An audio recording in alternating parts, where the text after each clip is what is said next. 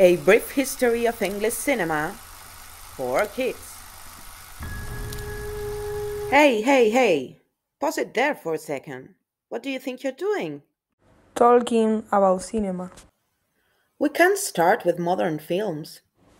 Why not? And is that a 3D movie? What were you thinking? But I love 3D movies. Start from the beginning, please. Okay, but I'm warning you. The beginning is not 3D. It's not even in color. Yep, that looks better.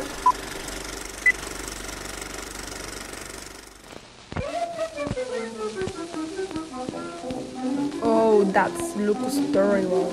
Don't you want to go back to 3D movies? That is Charles Chaplin, one of the biggest representatives of silent movies. Would you like to see how the movies were made? Why not? Films were made by just putting together a lot of photographs or images.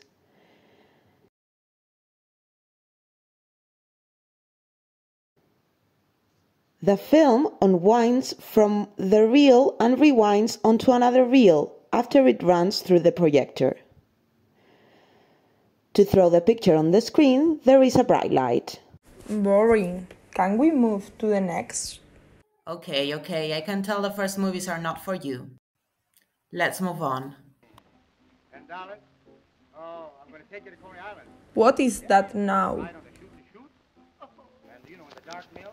Well, that is The Jazz Singer. It was the first length movie that had synchronized speech. It was created in 1927. Oh, yeah. The darkies. Can we put some color in now, please?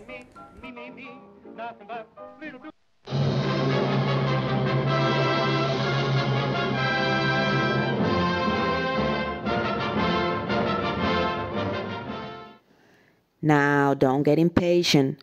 Color was only 12 years away. In 1939, both Gone with the Wind and The Wizard of Oz were released. These were two of the most important movies in color in the history of cinema. Yes, that is looking better. As you can imagine, films were no longer made as a group of images, but filming the scenes. What came next? Musicals. In the mid 90s, there was an explosion of this movie.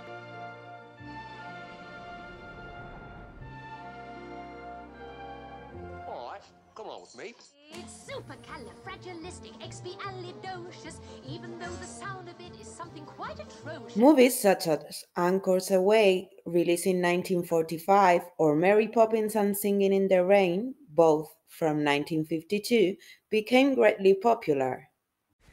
Ooh, I like Mary Poppins, but are we getting close to 3D movie now? Well, not quite. We are moving on to the digital era though.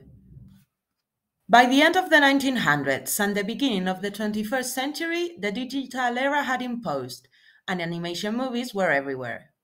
Monsters, The Prince of Egypt, Toy Story, Brave, Shrek, and many, many more. And that will be all. So, no 3D movies? I'm afraid we don't have time for that, but I'll leave you with a quick image, just so you're happy.